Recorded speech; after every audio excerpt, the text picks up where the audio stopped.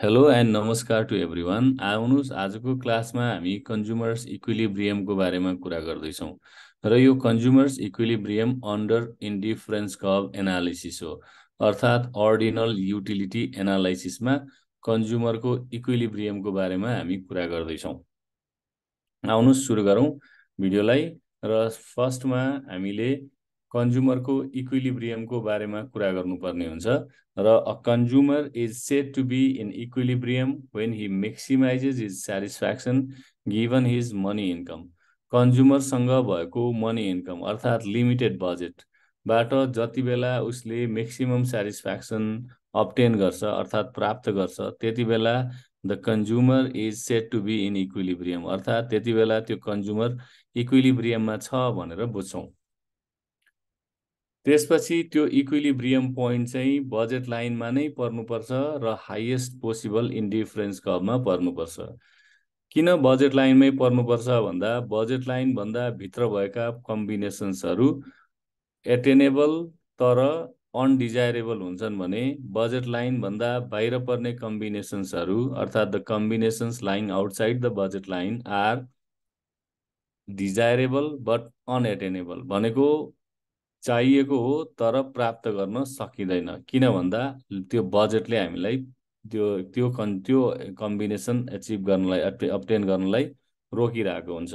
त्यसैले कन्ज्युमरको equilibrium budget लाइनमै पर्नुपर्छ र हाइएस्ट पोसिबल इन्डिफरेन्स कबमा हुनुपर्छ।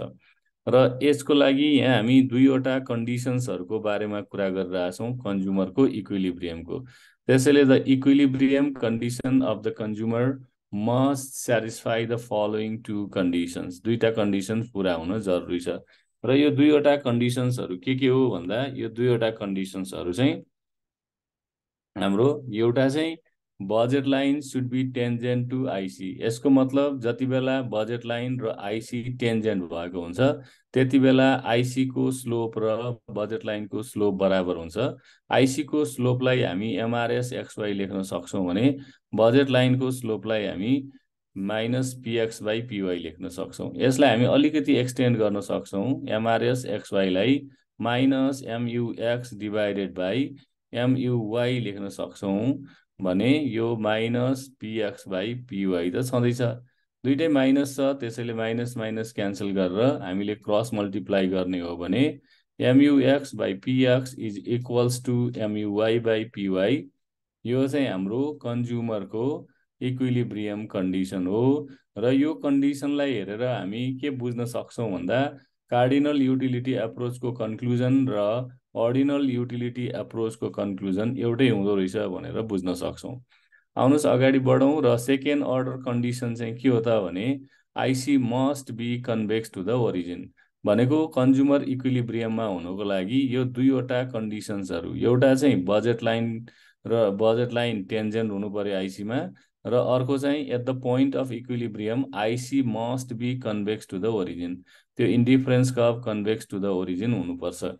यो दुईवटा कन्डिसन पुरा भयो भने the consumer is said to be in equilibrium. यहाँ यसका केही एजम्सन्सहरू छन् अर्थात् मान्यताहरू छन् र first assumption the consumer is assume to be rational अर्थात् the consumer is rational and seeks to maximise his satisfaction consumer rational छ विवेकशील छ र उसले ट्राई गर्छ। He always try to maximise his satisfaction उसले आफ्नो मेक्स सेटिस्फ्याक्सन मेक्सिमाइज गर्न चाहन्छ। The consumer consumes only two goods किनकि यो इन्डिफरेन्स कभ एप्रोच हो र त्यसमा हामीले दुईवटाभन्दा बढी कमोडिटी युज गर्न सक्दैनौँ। त्यसैले the consumer consumes only two two commodities भनेर एक्स एन्ड वाइ भनेर हामीले यहाँ एज्युम गरेका छौँ। अर्को प्राइसेस अफ गुड्स प्राइस र अनि इन्कम प्राइसेस अफ गुड्स र इन्कम चाहिँ के छ त भन्दा कन्सट्यान्ट छ भनेर अर्थात् गिभन छ भनेर एजुम गर्छौँ र इन्डिफरेन्स म्याप गिभन छ। यहाँ इन्डिफरेन्स म्याप भन्नाले के बुझ्नु पऱ्यो भने यो भनेको सेट अफ सेट अफ आइसी हो। इन्डिफरेन्स कपहरूको सेटलाई चाहिँ हामीले के भन्छौँ भन्दा इन्डिफरेन्स म्याप भन्छौँ। जस्तो कि यो एउटा म्याप हो इन्डिफरेन्स कप म्याप हो यसमा आइसी वान आइसी टू र आइसी थ्री गरेर सेट अफ इन्डिफरेन्स कप छ र इन्डिफरेन्स कपमा हायर इन्डिफरेन्स क इन्डिफरेन्स कप म्यापमा हायर इन्डिफरेन्स कपले भनेको आइसीले भन्दा आइसी टूले र आइसी टूले भन्दा आइसी थ्रीले धेरै सेटिस्फ्याक्सन दिन्छ। अर्को छ assumptions the goods are perfectly divisible किनभने यहाँ एउटाको कन्जम्सन बढाउँदा अर्कोको कन्जम्सन घटाउनु पर्ने हुन्छ। त्यसको लागि कमोडिटिजहरू डिभिजिबल अर्थात् त्यसलाई स्मल युनिट्समा टुक्रा गर्न मिल्ने खालको हुनु पर्यो अनि मात्रै यो चाहिँ पोसिबल हुन्छ एउटा कमोडिटीले अर्को कमोडिटीलाई सब्सटिच्युट गर्नको लागि। अब ह्याभिङ दिज एजम्सन्स अर्थात् यो एजम्सन्स भइसकेपछि यो एजम्सन्सको बेसिसमा हामी कन्ज्युमरको इक्विलिब्रियमको त्यो जुन अघिको दुईवटा कन्डिसन्सहरू थियो त्यो दुईवटा कन्डिसन्सहरूको बारेमा कुरा गर्दैछौँ।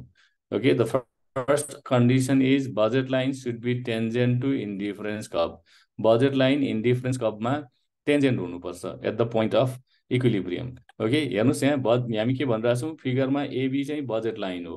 ओके यो हाम्रो एदेखि बीसम्मको जुन लाइन छ यो लाइन चाहिँ हाम्रो बजेट लाइन हो।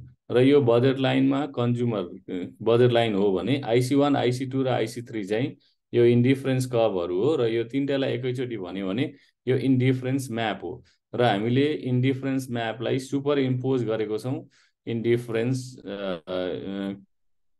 के अरे यो बजेट लाइनमा ओके बजेट लाइनमा सुपर इम्पोज गरेको छौँ इन्डिफरेन्स कर्भ्सहरू अब यो भइसकेपछि हामीलाई के थाहा छ भने कन्ज्युमरले बजेट लाइनको कुनै पनि कम्बिनेसनमा पर्चेस गर्न सक्छ। भनेको the consumer can purchase any combination that लाई on the budget line okay so यो सी भन्ने कम्बिनेसन र यो डी भन्ने कम्बिनेसन कन्ज्युमरले किन्न सक्छ। तर यो सी र डी दुईवटै चाहिँ लोवर इन्डिफरेन्स कपमा परेको भएर कन्ज्युमरले यसलाई प्रिफर गर्दैन। त्यसो भए अर्को त्यसको मतलब यो इक्विलिब्रियम पोइन्ट्सहरू होइन। ओके सी र डी इक्विलिब्रियम पोइन्ट्स होइन। र अब फर्दर हामी के भनिरहेछौँ भने कन्ज्युमरले आइसी थ्रीमा पनि जान सक्दैन। किनभने उसको त्यो लिमिटेड बजेटबाट आइसी थ्रीमा जानलाई पैसा पुग्दैन। त्यो भएर आइसी थ्रीमा जान सक्दैन आइसी वानमा बस्दैन। त्यसको मतलब कहाँ जान्छ त भन्दा ई भन्ने पोइन्टमा गएर बस्छ जुन चाहिँ आइसी टूमा छ। र यो पोइन्टमा कन्ज्युमरको इक्विलिब्रियम कन्डिसन पुरा भएको छ। यो ई भन्ने पोइन्टमा चाहिँ कन्ज्युमरको इक्विलिब्रियम कन्डिसन भनेको के त?